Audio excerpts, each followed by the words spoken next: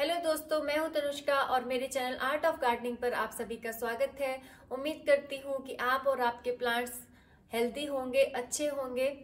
तो आज की जो वीडियो है, उसमें हम बात करने वाले हैं वाटर में हम लोग प्लांट्स को किस तरीके से प्रोपिगेट कर सकते हैं और कौन कौन से प्लांट्स हैं जिन्हें वाटर प्रोपिगेशन किया जा सकता सबसे पहले तो हम बात करते हैं कि हम लोग प्लांट्स का वाटर प्रोपगेशन क्यों करते हैं। तो पहले के टाइम में आपने देखा होगा कि आमतौर पर सिर्फ़ मनी प्लांट को ही पानी में बॉटल में लोग लगा कर रखते थे। लेकिन आज के समय में ऐसा नहीं है। आजकल सजावट के पर्पज से भी हर तरह के प्लांट्स को वाटर में प्रोपगेट किया जाता है, पानी में रखा जाता है।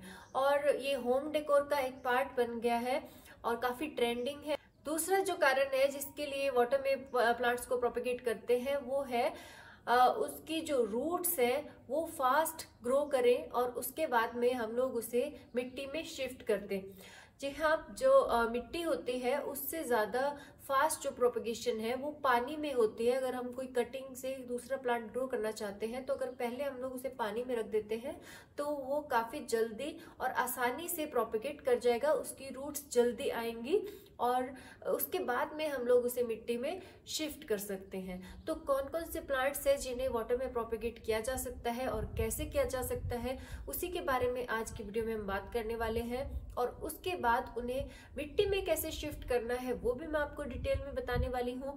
और आ, क्योंकि कई बार ऐसा होता है कि जब हम लोग पानी में से आ, मिट्टी में उसको ट्रांसफ़र करते हैं तो आ, उसकी जो रूट्स होती हैं प्लांट की जो रूट्स होती है उसकी ग्रोथ पानी में अलग तरीके की होती है और मिट्टी में अलग तरीके से होती है। दोनों का जो एनवायरनमेंट है काफ़ी अलग अलग होता है। तो कई बार ये होता है कि जब हम लोग पानी से मिट्टी में ट्रांसफ़र करते हैं उस पौधे को तो पौधा खराब हो जाता है। जिस तरीके की ग्रोथ उसकी पानी में थी, वैसी उसकी वहाँ मिट्टी में नहीं रहती है। तो इसे हम लोग कैसे मेंटेन कर सकते हैं और कैसे हम लोग सक्सेसफुली पानी से आ, मिट्टी के अंदर प्लांट को शिफ्ट कर सकते हैं कटिंग को शिफ्ट कर सकते हैं वो भी मैं आपको बताने वाली हूँ। उसकी एक छोटी सी ट्रिक है जो कि वीडियो के एंड में है। तो वीडियो को आप लोग ध्यान से पूरा देखिए ताकि आप लोग कुछ भी इम्पोर्टेंट मिस ना कर दें। तो आइए चलिए मेरे साथ मैं आपको दिखाती हूँ कि कौन कौन से प्लांट्स मैंने वाटर में प्रोपिगेट किए हैं और उन्हें किस तरह से हम लोग बाद में पॉट्स में शिफ्ट कर सकते हैं।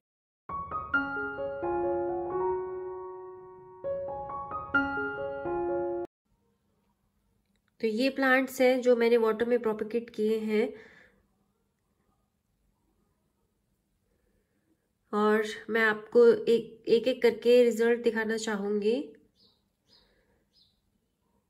सबसे पहले हम बात कर लेते हैं हमारे प्यारे मनी प्लांट की। इसे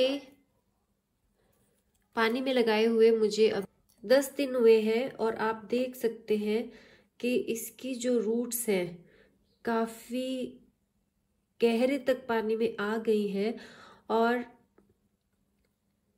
ये जितने भी पोथोस प्लांट रहते हैं, उनमें क्या होता है कि जो इनकी मेन ब्रांच होती है, उसमें ही एक ऐसा है छोटा सा रूट बर्ड होता है। तो उसे अगर हम लोग पानी में डिप कर देंगे तो बहुत जल्दी ये जड़ पकड़ लेगा और काफ़ी ये फैल जाएगा। अब देखिए, ये स्नेक प्लांट है। स्नेक प्लांट की बहुत सारी वेराइटीज आती हैं।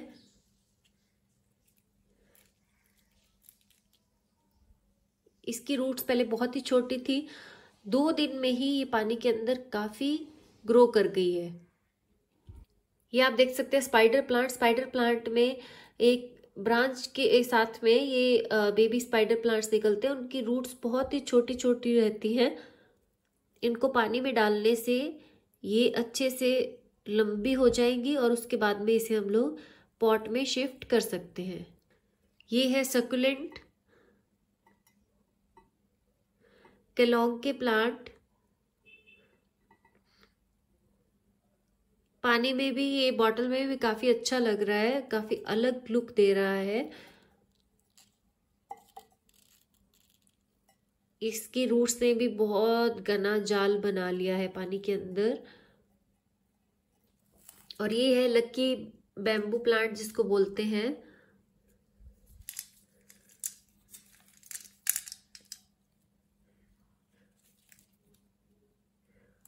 इसकी रूट्स आप देख रहे हैं, इसे वाटर में प्रोपिकेट करना बहुत इजी है। मनी प्लांट की तरह ही हम लोग सिंगोनियम को भी पानी में डाल सकते हैं प्रोपिकेट कर सकते हैं। इसमें भी जो ब्रांचेस होते हैं, उसमें छोटे छोटे रूट बर्ड रहते हैं तो ये पानी में काफ़ी अच्छे से ग्रो कर जाते हैं।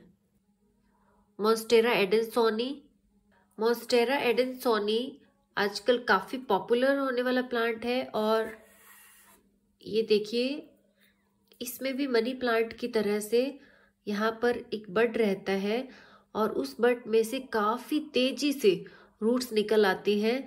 और क्योंकि मैं इसे पानी में ही रखना चाहती हूँ तो मैंने इसकी जो रूट्स हैं बिल्कुल जाल जैसा बन गया था पंद्रह दिन में ही तो मैंने उसे कट कर दिया था। एक्स्ट्रा रूट्स मैंने कट कर दी थी। और सिर्फ़ ये एक ही रूट रखी है और ये भी बहुत ज़्यादा बढ़ती जा रही है तो मैं इसे भी कट कर दूँगी क्योंकि नहीं तो ये पूरा स्पॉट के अंदर रूट से भर जाएगा। एक्स्ट्रा रूट्स को हम काट सकते हैं और आप देख सकते हैं कि पंद्रह दिन में ही प्लांट ने और पत्तियाँ नई निकालनी शुरू कर दी है। इतनी जल्दी ये ज़मीन में मिट्टी में ग्रो नहीं करता है। अगर आप इसे मिट्टी में ले जाना चाहते हैं तो आप इस स्टेज पर ले जा सकते हैं। इसकी रूट्स काफ़ी अच्छे से ग्रो कर गई हैं। इसके साथ साथ आ, मैंने जो पानी में प्रोपिगेट किया है वो है ये पेडिलेंथस की एक वैरायटी ये एक सक्यूलेंट है और काफ़ी हरा भरा और सुंदर दिखता है। आप देख सकते हैं ये भी पूरा जो इसकी सभी ब्रांचेस है, उसमें अच्छे से रूटिंग हो गई है, सब में रूट्स आ गई हैं और चूँकि मैं इसे भी पानी में ही रखने वाली हूँ एज अ शो पीस मैं इसे रखने वाली हूँ सेंटर टेबल पर तो मैं इसकी भी जो एक्स्ट्रा रूट्स हैं, उनको कट कर दूँगी। लेकिन अगर आप इसे ज़मीन में लगाना चाहते हैं तो इस टाइम पर लगा सकते हैं। ये बिल्कुल अच्छे से इसके जो जड़ें हैं, वो ज़मीन को पकड़ लेंगी। अब मैं आपको वो ट्रिक बताने वाली हूँ कि किस तरीके से वाटर प्रोपिगेटेड प्लांट को हम लोग मिट्टी में शिफ्ट करेंगे। जो हमने वाटर में प्रोपिगेट किया है, कोई भी प्लांट उसे हम लोग मिट्टी में शिफ्ट करने से दो या तीन दिन पहले इस तरीके के नॉन ट्रांसपेरेंट किसी बर्तन में, कप में डाल देंगे। पानी के अंदर आप देख सकते हैं कि मैंने कुछ मिट्टी मिक्स की है। और दो या तीन दिन तक उस प्लांट को वहीं पर रखेंगे। इसे रखने का रीजन ये है कि जो पानी के अंदर हम लोगों ने मोस्टली हम लोग बॉटल में रखते हैं तो उसे ट्रांसपेरेंट बॉटल रहती है तो काफ़ी लाइट मिलती है रूट्स को।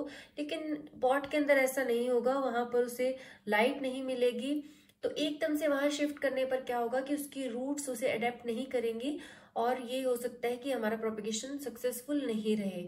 तो इसलिए हम पहले इसे जो नॉन ट्रांसपेरेंट किसी बर्तन में डाल देंगे ताकि उसे उतनी ब्राइट लाइट नहीं मिले और कुछ मिट्टी उसके अंदर दो या तीन चम्मच मिक्स कर देंगे ताकि जो प्लांट है वो एनवायरमेंट में ढल जाएगा।